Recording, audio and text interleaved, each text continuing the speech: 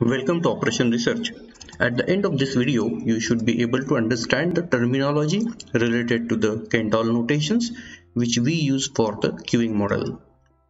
So this is a typical queuing model where we have various service stations and there are customers who are taking the service and which have certain period required to get the service we term we call it as a service rate then there are customers who are arriving in a system uh, to get the service. And if the rate of service is less than the arrival rate they create a queue where the customer have to wait in a system and they create a queue length and they have a certain waiting period.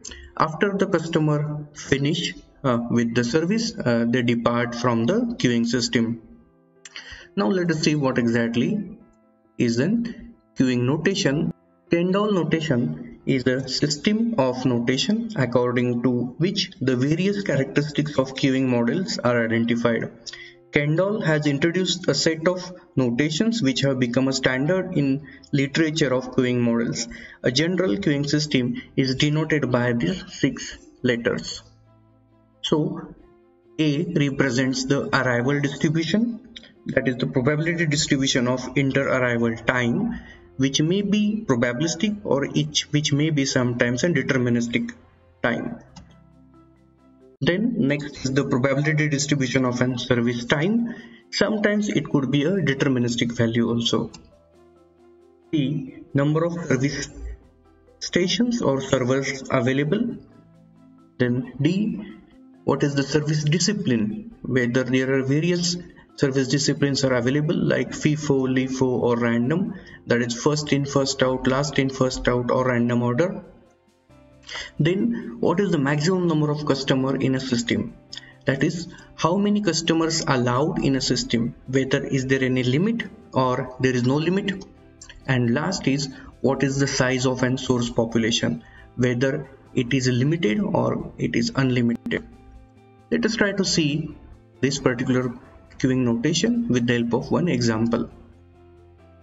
So this is an one typical example of an queuing system where the first M represents the Markovian arrival or Poisson distribution. So arrival pattern or arrival distribution is given by this Poisson distribution in this case.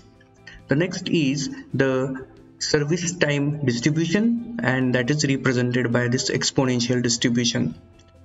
The third thing, one is representing number of service station. So this particular queuing system have only one service station. The queuing discipline is FIFO that is first in first out. So whichever customer will come first he will be getting the service first. Maximum number of customers in a system. So we are taking it as an infinite. So let us assume that you are at a railway station and there is no limit on the formation of an queue or number of customers that can be in a system. And the last one is size of an source population. Now here you can see that the customers those who are coming from certain population is infinite. Again if we take an example of queue formed in a railway station for at a ticket counter you can always say that it it is coming the customers are coming from a very large source population. There is no limitation to that. So this is an complete Kendall notation by which we represent the queuing system. Thank you